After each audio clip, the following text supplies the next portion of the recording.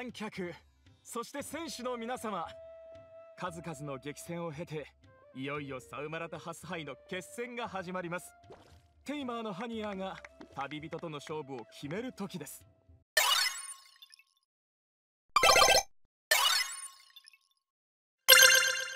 สวัสดีเพื่อนๆทุกคนนะครับ วันนี้ก็จะอยู่กับช anel ของ Zero Number และเกมเกนชินแผงเช่นเคยนะครับสำหรับในวันนี้นะฮะก็จะเป็นวันที่ 5 ของกิจกรรม การแข่งขันสุดยอดเห็ดอัจฉริยะนะครับ ซึ่งจะเป็น part จบแล้วนะครับ วันนี้นะฮะก็จะเป็นไคลแม็กแล้วนะครับ ซึ่งเนื้อเรื่องค่อนข้างน่าติดตามมากๆเลยนะฮะส่วน part ของตัว gameplay เนี่ยคุยกันก่อนว่าวันนี้นะฮะมันไม่ได้มีให้จับเห็ดหรือพัฒนาเห็ดแล้วนะ เพราะฉะนั้นก็คือจะเหลือแค่การลงด่านนะครับ โดยที่ด่านนะฮะตรงเนื้อเรื่องนะฮะเอ้ย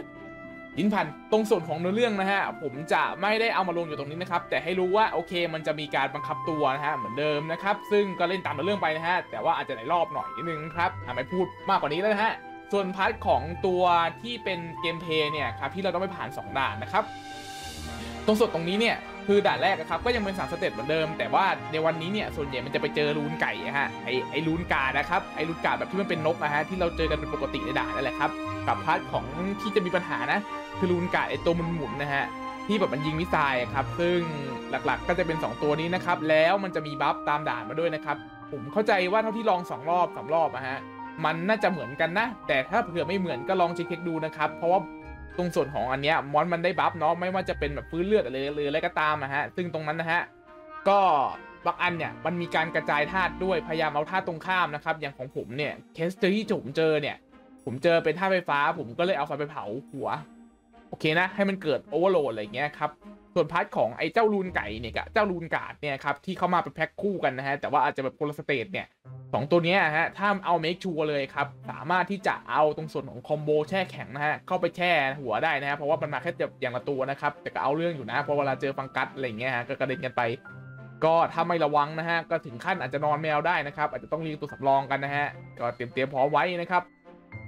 ส่วนพันของป้องกันนะครับ เราก็สามารถที่จะ เอาเห็ดไฟนะฮะประเภทไฟนะครับไปเผาหัวตัวส่วนของ Hilichurl ตัวใหญ่ได้นะฮะตัวแบบมันก็ไม่ได้ใหญ่สุดหรอกแต่มันเป็นตัวกลางครับที่มันถือโล่ครับก็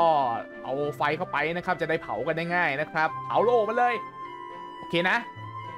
มันก็นะฮะเหมือนเหมือนเดิมนะฮะหรือว่าจะเล่นแบบผมก็ได้นะฮะเอาธาตุน้ำแข็งนะฮะเอาไปแช่นะครับแล้วค่อยใส่สกิลเนาะสำหรับของรางวัลในวันนี้นะครับ ก็ตอนนี้นะฮะเราสามารถแลกพวงฝันบนตาโดริได้แล้วนะครับ และนอกจากนั้นนะฮะไอ้พวกร้านโค้งร้านค้ากิจกรรมนะฮะอันนี้ผมสอยมาเรียบแล้วนะครับเงินกำหนดพอดีเป๊ะๆนะครับพอดีแรกนะครับส่วนพวกนี้นะฮะแน่นอนนะฮะเราก็กดจัดมันซะเลยนะฮะจังหวะนี้ครับตึบตับตึบตับนะฮะก็เกียงตับนะฮะไม่ต้องคิดมากนะครับยังไงก็พอดีฮะเนี่ยเมาร้านนะครับ โอเคนะ ก็คือได้ครบนั่นแหละ ส่วนพาร์ทนะฮะของพวกนี้นะครับ คือไอเตรียมไอไม่ใช่เตรียมตัวสิต้องบอกว่าไอพวกจับพวกอะไรอะมันหมดตั้งแต่เมื่อวานแล้วนะ อันเนี้ยครับนะฮะก็สุดอยู่แค่นี้ ส่วนไอตรงโจมตีเนี่ยครับกับป้องกันนะฮะของวันนี้นะครับ มันไม่ได้ให้ตรงส่วนของตัวไปมอนเจมนะโอเคไหมแต่ว่าให้รู้ว่าเออไอเหรียญที่มันให้เอามาแลกเนี่ยโอเค มันแลกได้หมดก๊อกเลยนะฮะจะได้ไปต้องกังวลกันนะ โอเคฮะสำหรับเนื้อหาของวันนี้ก็จะประมาณนี้นะครับ แล้วเจอกันใหม่คลิปหน้า see you next game my friend เจอกันครับ